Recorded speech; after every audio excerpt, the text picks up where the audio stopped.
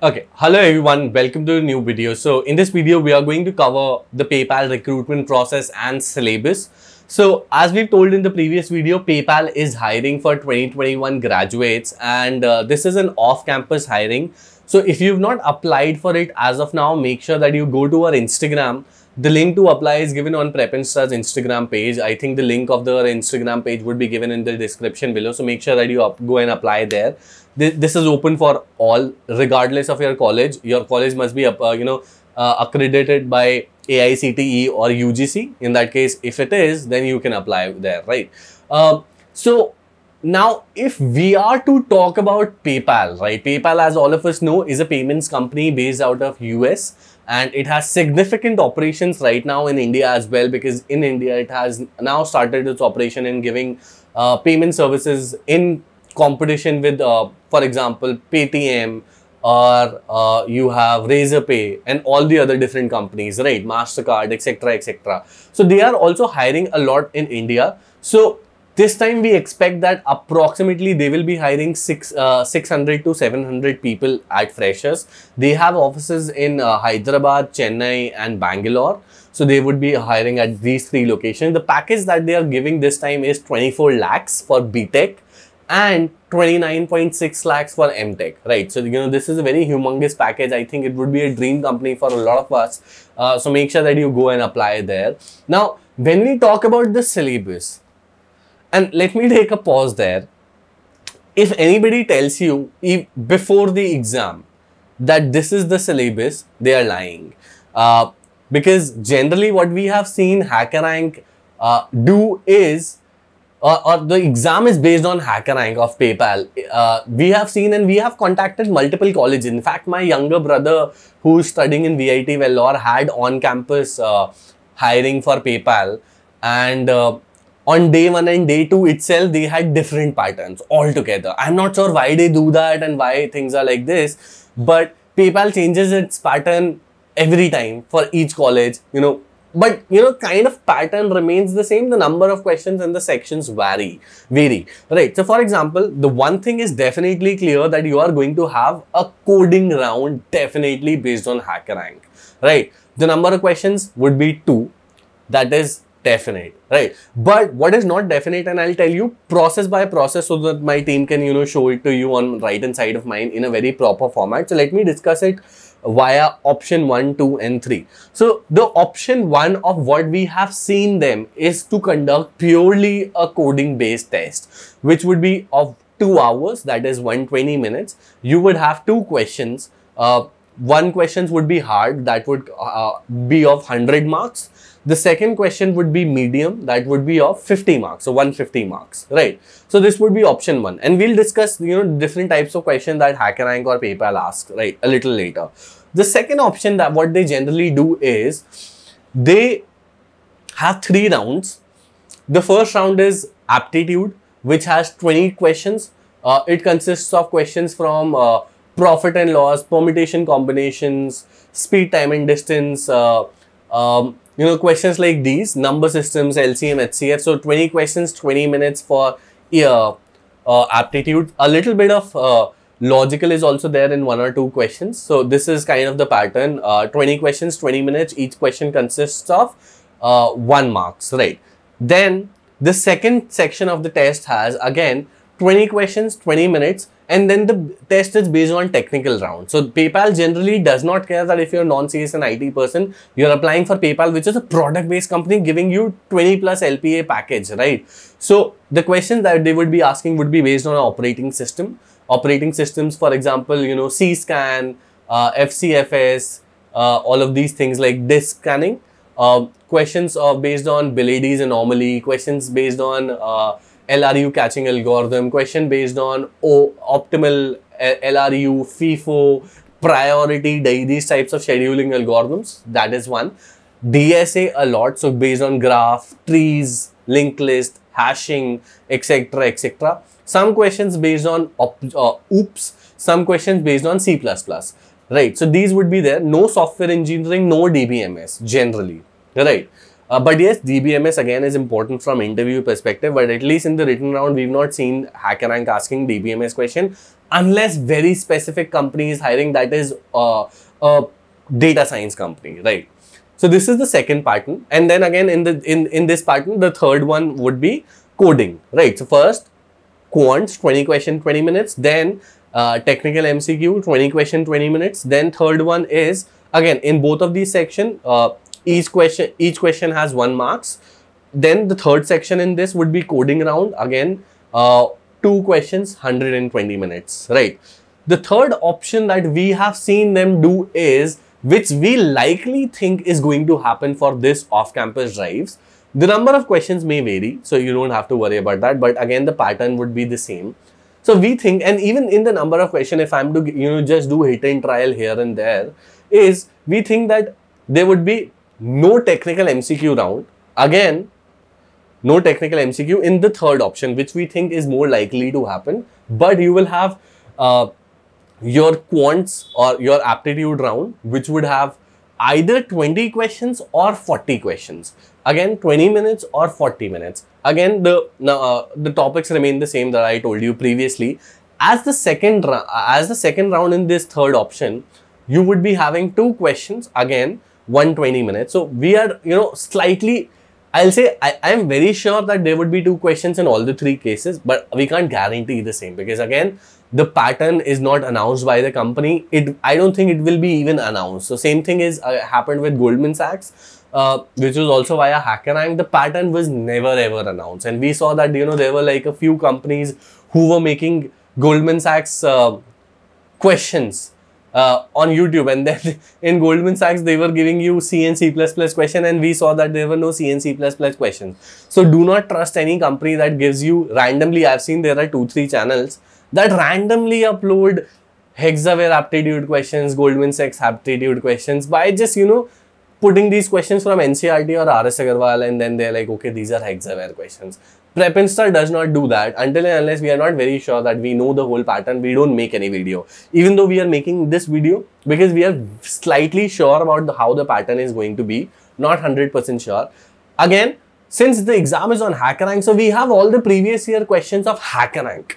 So now we, even though, so again, those same questions would be used for Cisco, uh, for uh, PayPal or Cisco or any other company. So again, we are a little more sure, which is why we are making this video for this, right? So again, if I'm to tell you the kind of questions that they ask, so this was all, all about the three options of the uh, uh, exam, right? If I'm to talk about the coding questions that they would have, so the coding questions that we've seen in uh, ha HackerRank just recently is, so for example, you are supposed to find integral pairs. So integral pairs that is integers. It could be negative value or positive value also. X and y these are two values.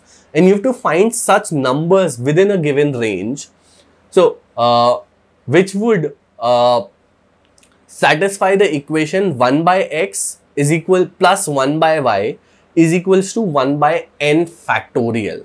So for example, in this case, they are going to give you inputs, user inputs as, so first n factorial value, so let's say 5 so 1 by 120 uh, is would be the value. And then they will give you a range of let's say 10 to 20 and then you are supposed to find uh, x and y values between 10 and 20 all the pairs of the values that satisfy 1 by x plus 1 by y is equals to 1 by 120 right? So you're supposed to find all of these values. So again in this case even though you may get a correct answer by applying multiple for loops. The better way would be would be to use competitive programming concepts like dynamic programming, memoization, and uh, uh, your recursion at the very same time. Right. One of the question that just was recently was asked was a simple BFS question that is breadth first search question, which used this breadth first search concept wherein a given knight on the chessboard to find whether it can reach a destination cell or not. So for example, they are saying that okay a knight is there right? Uh, so for example queen is there knight is there horse is there all of these things right? And then it can make only certain moves right? So it is they are giving you a position of uh, uh, a chessboard so a1 or f2 and they'll give you proper how the chessboard looks image. And based upon that you are able to you you, you need to tell that can it reach this destination within one moves? Can it reach it within two moves? Can it reach it within three moves? So they'll give you input values as number of moves uh, the current destination of the knight the final destination that is supposed to be for the knight right so again it's a bfs question. It's a very difficult question. So this was 100 marks question and the previous one was 150 marks question. If i'm to tell you a little more about you know the kind of questions that were asked uh, right so if you just give me a second i have it here with me. Okay so they had an automated painting system that needed if you to write a program wherein you are giving an n cross 3 grid. N cross 3 because 3 is red, green and blue. And such that no rows or column contain cells that are of the same color. Right, determine the number of valid pattern that can be given in the rows since the number of pattern can be large, the value can be a modulo value. So for example, what they are saying is, you have three colors, red, green and blue and you have a matrix which is of n cross 3. So n number of rows three columns. You are supposed to fill uh, or you are supposed to find the number of iterations wherein no rows will have the same color repeated again. So again, there are three rows and three colors. So, you know, there would be three different, uh, you know, red, green, blue. So basically three factorial would be in a single row right so you're supposed to find uh, such number of patterns using coding questions right so again uh, this would be put on our website we would have a page called as uh, paypal uh, coding questions uh, which would be there in the description of the link below. You can go ahead and uh, check that right? Then again you had technical questions split an array into sub array with with the given conditions. All the characters in each of the splitted sub array must be must not be in the another sub array right? Sample uh, so for example so you are given an array and you are given a sub array so you're supposed to say that okay if the sub array contains the array or not and then there are multiple sub arrays so again maybe a lot of you would not understand because it's a little difficult to explain you a very difficult question by word. So again you can find it in the description below. So how would you prepare for this test right? So again uh, we will prepare a few links for you wherein you can find all the previous year questions of uh, PayPal based on HackerRank only. Apart from that, we are also launching a HackerRank uh, uh, HackerRank Prime video course just recently. The link to which also would be given in the description below, which would cover your quants, which will cover your technical aptitude, which will cover your competitive programming as well, right? So based on HackerRank itself, very specific to HackerRank. So, you know, quants, technical MCQ and uh, coding. So even though PayPal may not have quantitative aptitude maybe in exam, but again, you get it completely free in that, doesn't matter. Or what you can do, do is you can probably join a competitive programming course of PrepInsta, which would be valid for HackerRank, HackerEarth, normal interviews, uh, Mettl, CodeChef, etc. etc. You can go ahead and do that or you can join PrepInsta Royal Pass wherein you get all these things completely included. Whatever we offer at PrepInsta, AMCAT, CoCubes, TCS iON, eLitmus, CC++, Nano Degrees, courses, certification courses, everything that we have today, everything we will have tomorrow, you will get that, right? So, we'll find you, you can find all of these things there. Again, you cannot hope to get into product based companies without knowing competitive programming which is something that we'll cover in our competitive programming course and also in our paypal course as well also in our hackerrank course. So we are kind of made three different things. Competitive programming if you want to just learn general competitive programming.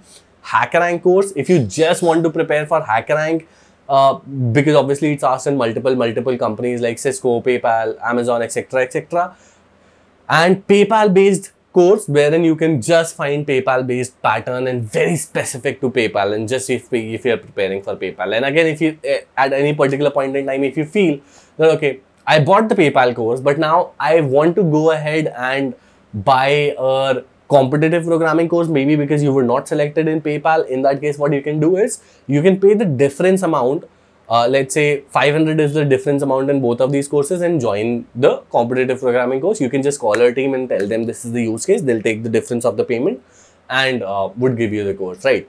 So that's pretty much about it. What we also want to do uh, do here is the top three comments in each of the video get our courses completely free. So make sure that if you have any comments or if you have any good questions you ask us those would be chosen by our team and you will get the course completely free of cost right? So that is one more thing. Again a few companies would be hiring. In fact three different companies would be hiring next week. Uh, so we'll post all those off-campus drive updates in our Telegram, in our Instagram, in our WhatsApp and LinkedIn. Make sure that you join all of them because some drives are Telegram exclusive. So we only post on Telegram because you know the company says that okay, we only want 1,000 people to apply, and if we post everywhere, 50,000 people will apply, right? Uh, so you know things like that. Generally, sometimes we post that okay, we want the numbers to get increased on our Telegram or maybe on Instagram, so we only post it there and tell other people that okay, the link is here, join it here. So the reason why we do it on uh, all of these social media handles is because you don't visit Prepinsta on a daily basis, right? But you visit Instagram on a daily basis. So you'll see, okay, for example, let's say Cisco is hiring, right? So like, okay, Cisco is hiring. I was just scrolling my Instagram. I got to know, let me apply. And you will not miss that particular drive. So that case, it helps a lot. So all the very, very best to all of you. Uh, a lot of previous year questions of HackerRank and of PayPal would be given on the PayPal on the PayPal coding questions page of Prepinsta. So you can go ahead and check the link in the description below, and you can practice all of those questions. All the very best. Uh, I hope to see all of you get placed and get benefited by Prepinsta with whatever mode, even if it's a free live session on YouTube, even if it's a free website, even if it's a paid course of Prime Video or Prime Mock. Uh, we genuinely want to help uh, and do our best in getting students increase their skill and get placed. So all the very best. Make sure that you do subscribe to our YouTube channel. If you have any comments, you can always comment and our team always reply. Thank you.